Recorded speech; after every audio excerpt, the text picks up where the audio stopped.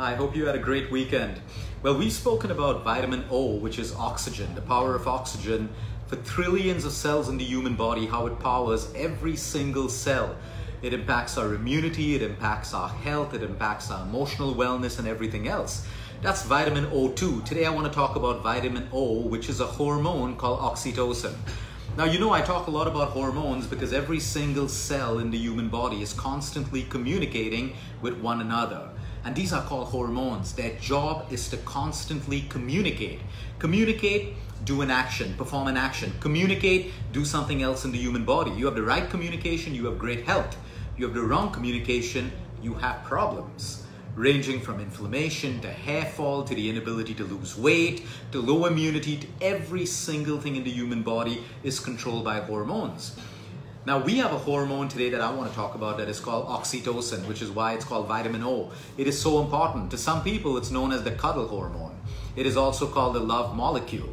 It is also called a bonding hormone. And you can see this when a newly born baby is put in the mother's arms. The bonding starts from the time that touch between the mother and the child happens.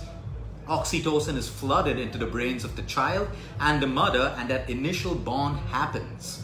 So we have to understand that oxytocin plays a huge role in our mental health, our brain health, when it comes to anxiety, when it comes to depression, when it comes to your nervous system, and it, when it comes to your immunity.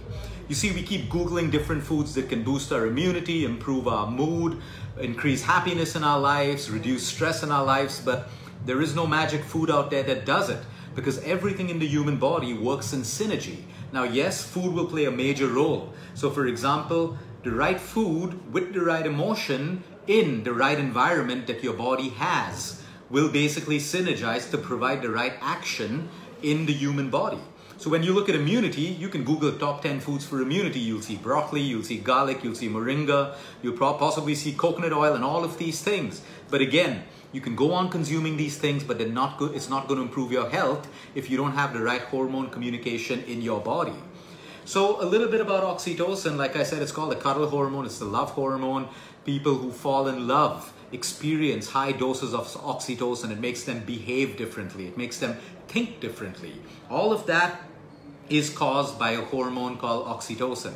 Now, this is made in the hypothalamus of your brain and secreted by the pituitary gland. The more oxytocin you produce, the less inflammation you have in your body. You see, we have something called cytokines which produce inflammation.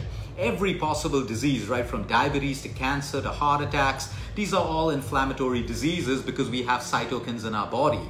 But just by raising oxytocin, the more oxytocin you have, you basically decrease the amount of cytokines in your body, which means you have the ability to decrease inflammation in your body by just stimulating oxytocin production in your system. Now, happy people also have stress, but happy people have a different attitude towards stress. They have lower cortisol levels. Everyone may, there may be a group of people right now, all of them have the same problem. But the difference is their attitude towards the problem. So happy, happy people will have less stress towards a particular problem. They'll handle it in a particular way. They'll accept it more easily. They'll be able to let go of it more easily. And hence they maintain lower cortisol levels because your cortisol is your stress hormone. If your body is constantly flooded with cortisol, your oxytocin is constantly on the lower side, which means you have more inflammation and everything in your body is compromised, which is why we say chronic stress is the root cause of most diseases in the human body. Okay, so what else happens with oxytocin? It also activates serotonin. Serotonin is your mood lifter. We all have serotonin in our body, but if it is not activated and oxytocin activates it, and that's how our moods improve. That's how we feel good. So we have everything in the human body that we need. All we need to do is activate it. And we can activate it through what our body contains, something as simple as oxytocin. So if we're going to do things to boost our oxytocin, we're automatically going to boost our serotonin, which means we are automatically going to feel good. The same thing with endorphins. Endorphins are again secreted by the pituitary gland. It is also called nature's morphine. You know, we all know that morphine is a painkiller. It's a deadly painkiller. But our brain, our pituitary gland produces endorphins, which works like morphine. Now, runners will understand this when they get to runner's high. Their bodies won't pain anymore, they won't feel any more stiffness, they will be able to run because they're fueled by endorphins, which gives them more strength and which takes care of the pain and the discomfort that they're going through. It reduces pain, and you'll see this in several case studies of gunshot victims who have not died because of the gunshot, but they talk about the time the bullet enters their system, they're on this high that makes them feel pain free for a while. And they're actually literally, literally comparing it to being on a drug like cocaine or heroin. That's the power of endorphins. So you see, we were built with natural painkillers also. That's the beauty and intelligence of the human body. Now, how does endorphins work with dopamine? Dopamine helps us basically have a sense of pleasure. We can have a lot of pleasurable things in our life, but it's useless if we don't have the right amount of dopamine to help us feel that pleasure. We know so many people who have everything from wealth to relationships to success and everything, but yet they feel empty in their heart. Yet they feel sad, yet they feel lost, yet they feel depressed. This is because of your hormones. You have dopamine. If it is not activated, you cannot feel a sense of pleasure from the things that you have around you. So endorphins also stimulate dopamine. So now you can feel good. You have you have sensations of pleasure and that does something else. Sensations of pleasure basically boosts nitric oxide. What does nitric oxide do in the body? It works as a vasodilator, which means it dilates your arteries and it rushes blood to all the other organs and cells in your body, which means it boosts immunity, it takes care of toxic waste, and it takes care of inflammation. So you can see something as simple as one hormone, one hormone oxytocin can have innumerable effects on your body from depression to cancer to diabetes to anxiety to everything. So let's get straight into how do we stimulate oxytocin. Like I said, we're living in a world where we have so much, we have abundance, but yet sadness is on the rise, depression is on the rise anger, fear, insecurity is on the rise, especially when we live in a world of abundance and we have so much around us. There are several natural things which are literally inexpensive and free that can stimulate your oxytocin. Number one, touch. Human touch can stimulate oxytocin. When you cuddle a little baby, you cuddle your child, you cuddle the person that you love, you snuggle with them. Human touch floods your brain with oxytocin and it makes you feel good and it helps you bond again. Hugs the power of hugs when it's done in a respectful way with people's permission. It's unbelievable. The more you hug, the more you're generating oxytocin for yourself and for the person that you are hugging or you are touching. There's this beautiful study of how holding the hands, just holding the hands of someone you love, your child, your parents, your spouse, your lover, whatever it is, just holding hands can flood the brain with oxytocin and begin the process of everything I just took you through.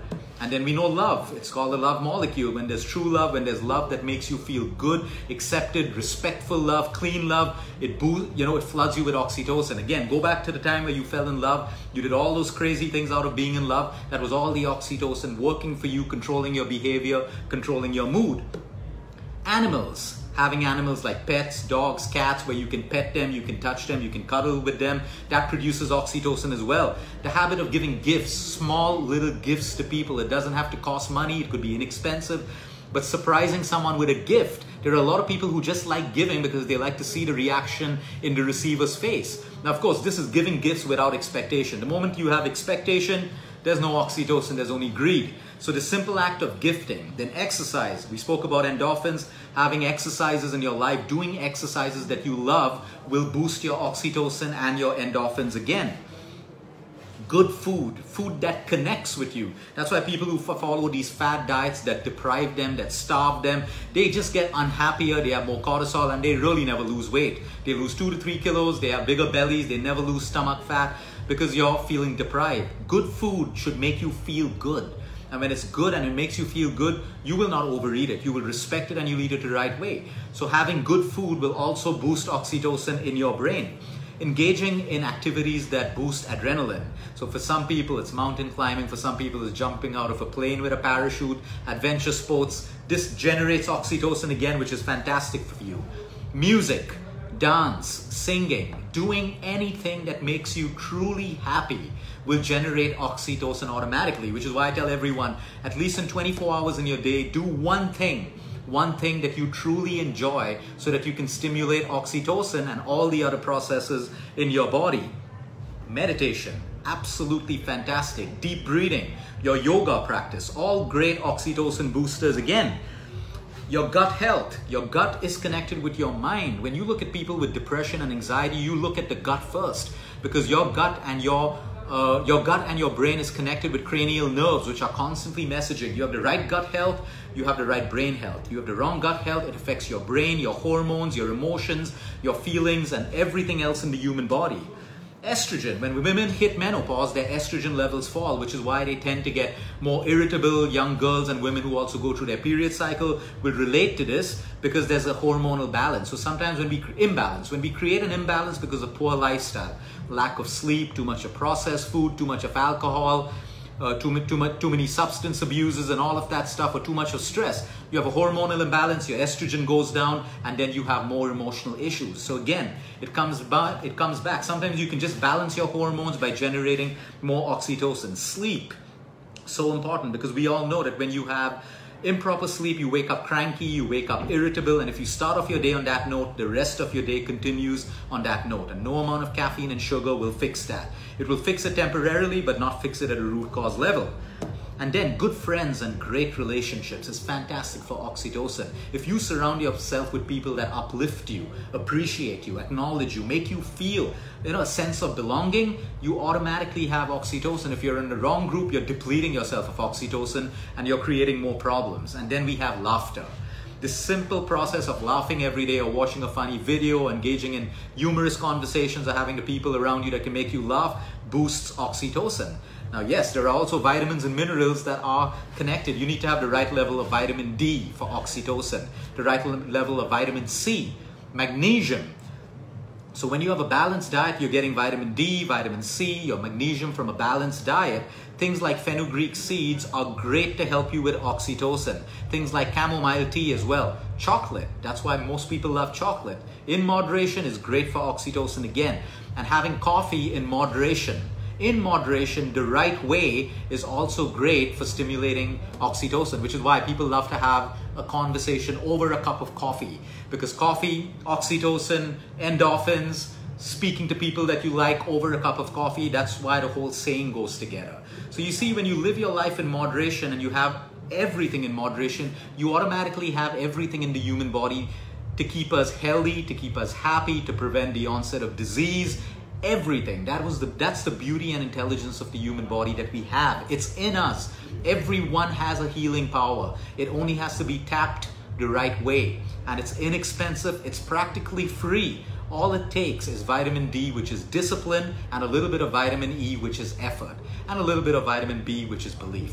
That's all. Have a great day, everyone. Think of ways to boost your oxytocin. Until next time, eat smart, move more, sleep right, and breathe deep. Since I ended with breathe deep, I should also add one more point. If you feel stressed right now and you're, you're in a situation where you're completely stressed, by just breathing, will lower your cortisol, will increase your oxytocin, and in some way or the other, you will achieve at least some amount of peace in yourself. Your problem may still be there, but it's about what you can do to minimize your reaction to the problem and your attitude to the problem. Have a great day, everyone.